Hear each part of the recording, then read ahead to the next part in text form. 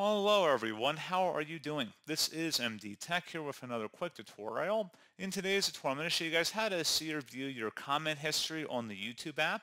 So this app is primarily geared towards Android and iOS users. The process is pretty similar for PC users as well, but we're covering the YouTube app in today's tutorial.